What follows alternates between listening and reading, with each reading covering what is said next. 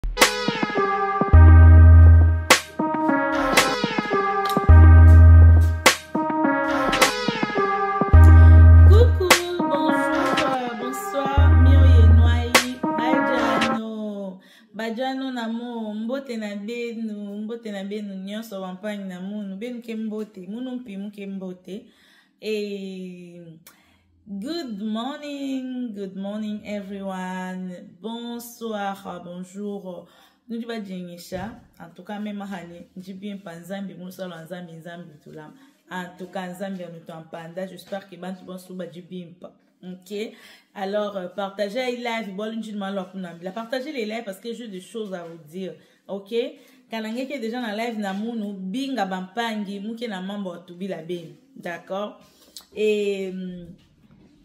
bubu yayi muke na mambo ya tubila beni D'accord eh, Merci. Vous avez bien, en tout cas de mon côté, Naza très bien, super bien. Aujourd'hui, les lots est rapide. Ma maman Nadine Ndouzi, DV Loterie assurée, sur l'Union Zoyaya. Contactez Kama Nadine Ndouzi, dans Samouraï, le beau gars de Dallas. Coucou à toi. mon frère namona yo kala alors merci à tout le monde merci boeskize nga mpona mwa makelele la tokokangela bato bacarton oyo ezobima mpona kotindela bato video Rapidement, j'aimerais vous dire, si vous n'êtes pas encore abonné sur notre website, euh, Momulopo TV, abonnez-vous, abonnez-vous parce que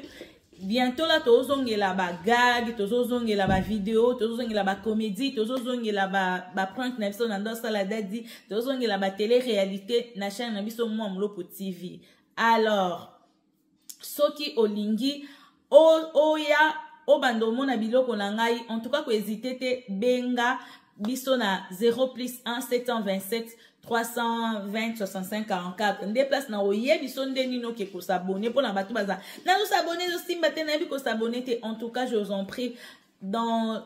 l'amour de Dieu, vraiment, please, please, beau s'abonner, ça va nous faire du bien, ok? Rapidement, on a qu'on répondre à bateau, bah, ça, maman trésor, qu'est-ce qu'il faut faire na malili pour gagner temps ya kitoko? Oui, oui, oui, oui, oui, de bonnes questions. Lelo na olakisa bino qu'est-ce qu'il faut faire pour avoir un joli temps, pour gagner un joli temps. D'accord?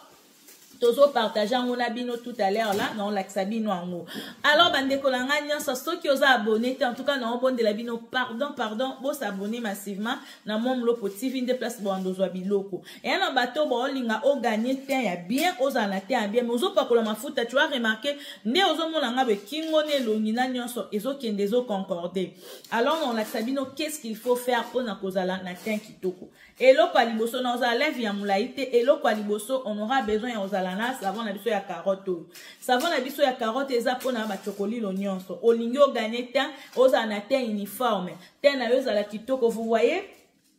te na yo ezala kitoko savant oyo eza mpona bacokolilo cokolilo obenga na loba toya kuna olingi obongisa te pendant ke malili ezali toza huile na biso oyo eza na spf spf eza très bien mpona ekoprotege loposo na yo huile na biso eza nango deja alors okoutilisele nga savant oyo mibale utilisele nga savon oyo mibale bandeko omoni savon oyo eza savon na biso pro base ya moringa oyo eza savon na biso carotte nde bato nyonso boyebi si tu prends de la carotte ozolia carotte mingi tu vas voir ke ozala na joli teint soki omela mpe baji ya carotte trop ekobongisa yo teint so boyebaka te alors biso oza na savon base ya carotte comment kosala mpo ogagne teint uniforme na savon oyo c'est plus mpo na bato bazalaka na baentrejambe mwindu na katikati ya makolo awa mwindu na se ya mapeka mwindu bozalaka bongo ça va aussi vous aider na eloko tobengi ba eh, ba nini ba ba kento na maboko ok osala nini ozweli ngai savon oyo ozwi savon oyo opakoli yango otye mai opakoli nzoto ngomi opakoli na katikati ya makolo opakoli na sa mapeka mpo oyebi ke biso le mama defa toyeba te ke na katikati ya makolo esi ekomi yo mwindo ozoyeba te oui ya beaucoup de femmes oyo bayebi te ke na katikati ya makolo deja ekomi ye mwindo alors ozweli ngai savon carotte oyo pakolela ngango na sa makolo awa na katikati ya makolo awa bien epuis ozwi yango opakoli na sa mapeka eza te ke parceke owumeli na mobali osali 20 ans de mariage 18 ans 19 ans tu penses que c'est l'assurance non La femme, il faut améliorer chaque jour. Il faut être coquette chaque jour. Il faut apparaître jolie chaque jour. ça augmente aussi de l'amour. Ce n'est pas que, oh non, ça fait déjà 10 ans que je suis mariée, ça fait déjà 20 ans que je suis mariée, mobile nanga. Non, non. mibali nde baza wana akoki ozala na aza fidèle akoki ozala ne mpe aotala yo aoloba te mai nefiske aomona biloko moko ekomi kodegoute yo omona ere mosusu na place ozwa mwa waniko na ba 5 heure du matin batali yo kaka boye neti ndako ezika batali yo kaka boye neti ndako ezika alors les mama please je vous en prie ça c'est très bien mpona na se ya baesele epuis na baentrejambe otambolaka ye mosusu baentrejambe na yo ezikaka otambolaka ye mosusu baentrejambe no ekoma mwindu en tout cas na oconseille yo salela carotte oyo mama na ngai salela carotte okopesa nga raison toza na baresultat ya carotte oyo eza ebele salela carotte oyo salela yango coucou à toi coucou à toi maman Dolly toi merci beaucoup d'être là c'est très important le maman il faut kobongisa moi il faut kobongisa moi c'est ça ate que tu t'habilles bien tu te maquilles bien non na kuzu mpe fe ezala ya bonga tu peux pas être seulement oza kitoko na elongi oza kitoko parce que tu es bien habillé mais na kati ya nzoto no oza kitoko te non faut avoir un joli temps so oza moto ya mwindu il faut mwindu yango mpe ezopesa kitoko po moto atali po boloba mama oza kala mafuta ya bato ya teint clair non non non non ça c'est pour le teint marron yo moto oza caramel olingi oganye oza na mwindu mo bolingi oganye mwindu wana ezala kitoko ezala ya ongala wi toza na mafuta mpo na bato ya mwindu so olingi ebima vraiment frappant mwindu na yo ebima frappant tu peux utiliser ça na huile na yango oko utilize oyo na huile osombi ka oyo na huile outilize yango omona yo moke oganye tan kitoko ozala na tan kitoko sans pourtant oboma nzoto d'accord alors comment utiliser baproduit na biso pendant ya malili bino bato bamboka na bino deja malili ebandi olingi ozala na joli tein après na ete oyo ekoya obima ozopesa mpenza eclat yoka nde na koexplike yo zwela nga savon ya karoto pakola nzoto mobimba tya mwa mai na maboko pakola savon ya karoto nzoto mobimba pakola na bantrejambe pakola na nzoto pakola na elongi fandela nga 5 minutes ok ofandi 5 minutes après kofanda 5 minutes okoteli nga na douche okoteli nga na douche osokoli sikoyo na savon oyo savon oyo eza tellement monene okoki okabola yango ata en 3 parties okokabola yango en trois parties savon oyo savon oyo tobengi savon pro ozwi yango okaboli yango osokoli nango nzoto eza vraiment na fulufulu ebele après avoir yo kosokola na savon o oh, tu as m'appele pour me dire oh non mama tu avais raison parce que ezosala nzoto lise omolo nzie bauti euh, marie kibongi momlopo savon noir ezali oui ezali marie ezali donc ova omona ke nzemba oti kopalola yo yango yango savon na biso baza moringa eza savon noir eza vraiment kitoko esala bien opakoli yango ozomona bamama misusu nde bazalaka mwa na fespam mwa batache tache na nzoto batache biloko mwa bongo banduta eza koede parce que moto akoso te meme le blanc baresisa kosisa nduta te alors mais ça ça va t'aider ezo diminuer banduta moke moke ezotelisa banduta surtout bato bazala na banduta ya noir wana mama nduta eza nao pas forcément salite mais bato mosusu mpe ezali e mosusu monene afongwami ou bien ndenge kaka ya nzoto na ye ndenge ezaleli d'accord ntango osilisa wana na butu zwelanga huilo huilo tozobenga yango huile magique eza multifonction wilo ça va t'aider ya nzoto no engalaka en fait comme vous les remarquez omona nga na ongala neti boye nazala deaka na crayon natye mwa labelo ka natyaki mokie pa eloko nyonso ozomona ozoremarke ke kingo na ngai elongi na ngai ezongala ezongala grâce ya huile oyo huile oyo ezalaka bien soki opakola mafuta na oconseille yo toujours na idee ya kotyaka huile mpo na bato ya kinshasa bino nde nasaleli mpenza balive parce que baproduit ezokoma deja na fin du mois oyo bato ya kinshasa ye bato ya kinshasa bosala bacommande na bino baproduit ewumelaka te efandaka te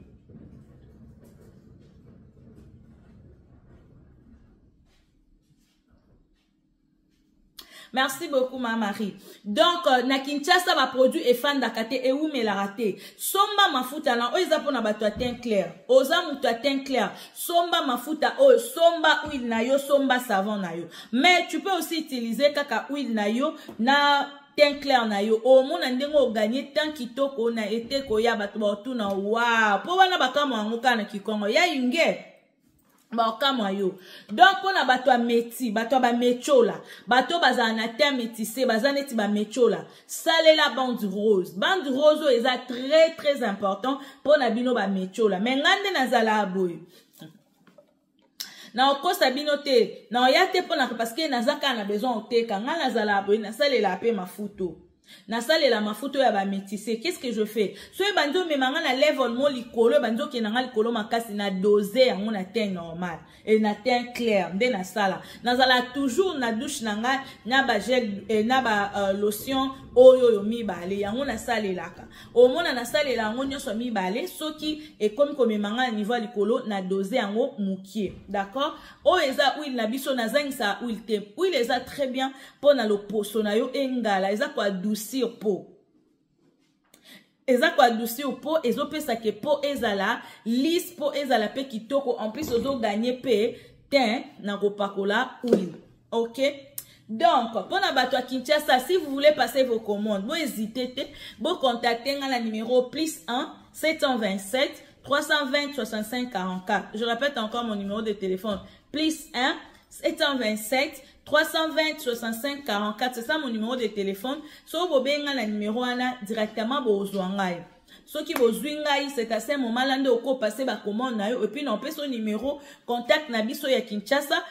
po o commande ba biloko na yo alors déjà fin du mois oyo biloko ezala na kinshasa wana besoin savon wana besoin mafuta wana besoin huile bobengaka déjà aire yango oyo parce que biloko nyonso oyo ezokita kinshasa eza bien calcule message mpo na bato ya londres yelelele bato ya londres nga mona ozala sur place na londres na oya oteka Mm -hmm. bato ya londres nyonso bolelaki mama trésore mama trésore osali biso bepwani bato ya londres bozela nga moko awa wana azokitela bino sur place na christmas oyo nga mona ozala wana tofete na bino christmas epuis na ozala wana mpona koteka biloko mama soki ozala na londres zwaka deya nimero na nga benga yebisa nga deja mama na nga na mposa boye mpo na oye na biloko bien calcule na otambola na mikumba lokwa impres ya new york te naoya na biloko bien calcule bavalise bien calcule donc so ozala na londres please pesa benga nga na numero na nga ezali 727 320 65 44 c'est ça mon numéro de téléphone so obengi nga ozwa nga na numero wana ya téléphone alors nazobondela bino lisusu yo oza nano abone te na mwa mlopo tv kende kosabone kuna na tiktok naza mwa mlopo show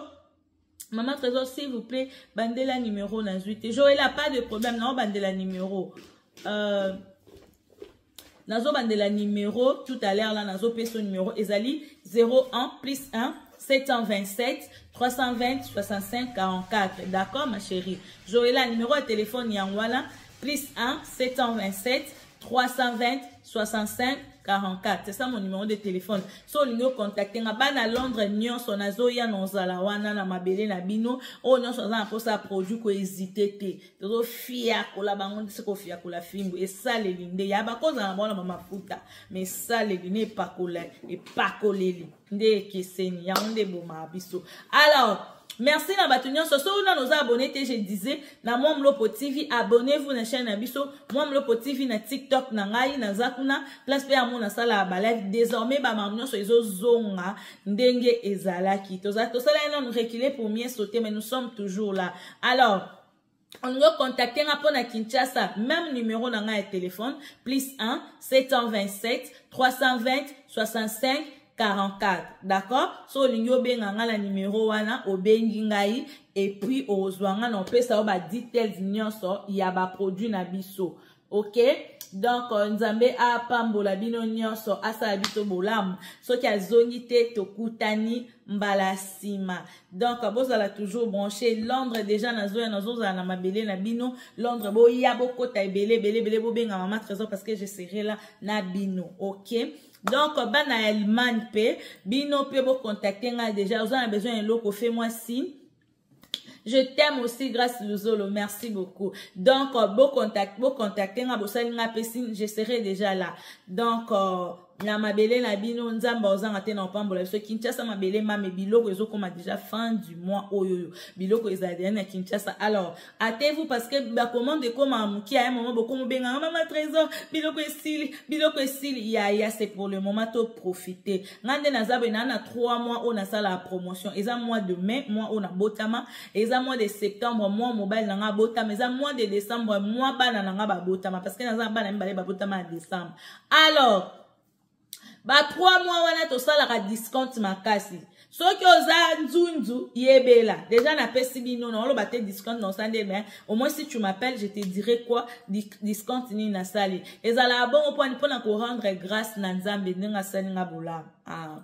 mwa wana ezala mpona kosala kopesa nzambe merci ndenge abombi mobali na ngai abakisele une année de plus na ngai moko nasalaka toujours action wana mpo na kosala kokitisa mwa biloko Pour la bino bato à Kinshasa, oui, je vais donner le numéro. Appelez-moi, contactez-moi. Je vais vous donner le numéro de Kinshasa pour na somba babilo kona bino. Pati Boluku Moutou de moi de Kati, de gros bisous à toi. Alors, je vous aime beaucoup. Nzamba Sabiso Bolamu. Pour vous, les amis de Moulopo, Moulopo TV, Nzamba Sabino Bolamu. Tozo ngila ba mamnyon so ok, ok, kande to lingaka. Bisous là-bas, je vous aime beaucoup. Kolo Moboulou. Bisous. bisous là-bas bisous là-bas yaya otikala ka bongo likemba sikoyo kongala na nga niveau eswaka bato baza kongala te yaya yaya ndimela nga ye awa vi eza kitoko yo kotikala bongo ozoyoka motema mpasi nde na oyemba boya ndeko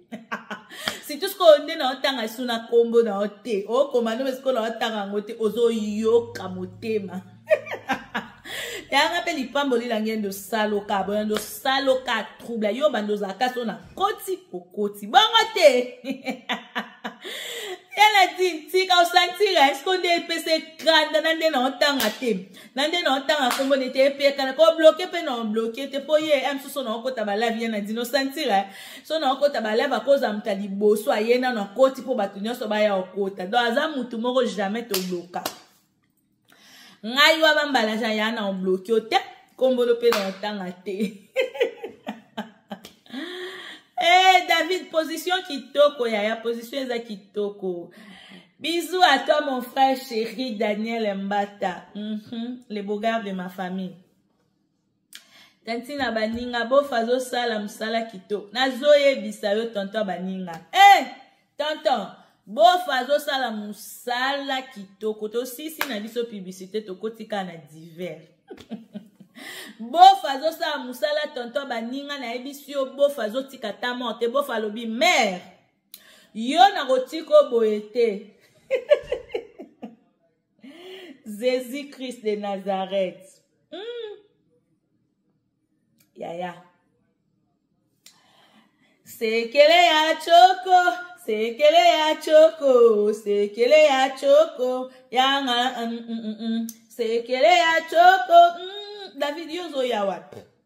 ozoya wapi nga naza te naza bisika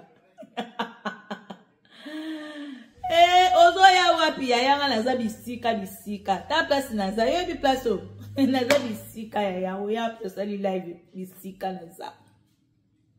nayebisaki yo yaya oya bisika so olingi eloko osala nde tosala systeme na tindi nga ya bisika te oya te so olingo ya kuna ya ndako kokuta lingoile utakosorte bite donc chain to everyone location kaka yebisa biso mpe tozobala to ye tozongisela ye ndambu ya mbongo e eh, yebisa ye biso mpe tozobala ye bozongisela naye bof ndambo ya mbongo batiki oza ndenge ozinga ozongisela ye mbongo tofa bakisela bino mbongo mam nini ana oloba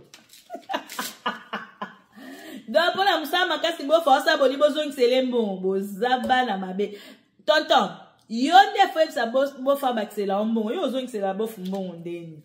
eh. you first above bakisela biso mbongo mpo mwana biso kuna kota aza komi su bien omoni bien ezobakisa mama monte ezobakisa mabongo te egelo eh, aleli location hey, eh, location am samuel so napesi yo location ekozwa yo 21 heure du temps mpo okoma soki okumba awasala mpenza mosala ah, do bino famille na nga bodesine bozongisela dadi mwa mbongo na mpo asala mosala makasi e eh, ata bino moko nabungisi number na yo komela nga na message ok ya na dine pas de problème mais so olingi okozwa mpe ka nde na opesa boye 727 320 65 44 c'est ça mon numéro de téléphone donc so obengi nga kuna ozwanga e eh, ozoya ya olemba boye wana nini yango Billy.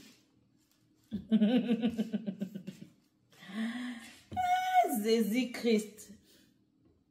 dadi azosala mosala malamu dadi aza na shwa te fasala mosala malamu yaya yosakana dadi nde aza na tulaki tulaki tulaki na ye awa ngai azwi ye bon osala mosala malamu te nde eh,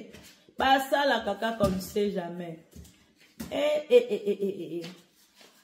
loba na kimwa mulopo nanu te lelo ezali mwa mulopo te joli na biso lelo ezali kaka ma trésor hmm, yango namoni bato baza ebele te bato balingaka mwa mulopo e eh? bozela mwa mulopo na ba 15 heure mwa mulopo heure oyo na 13 heure mm -mm. mwa mulopo na 13 heure eyaka te mpo nzala eza nanu sikoyo soki mwa mulopo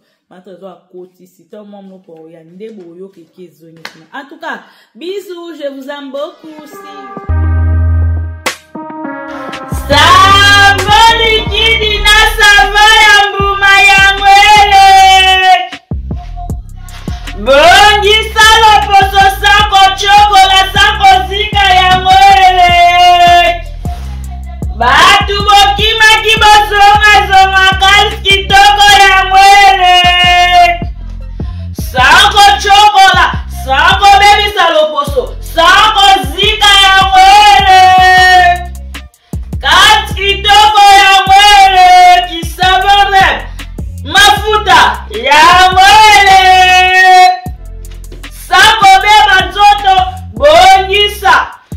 toza mpe na baproduit ebongisaka mokodo mpo mokodo etelaka na mpasi misapi ya maboko misapi ya makolo katikati ya makolo na se ya banido bongisa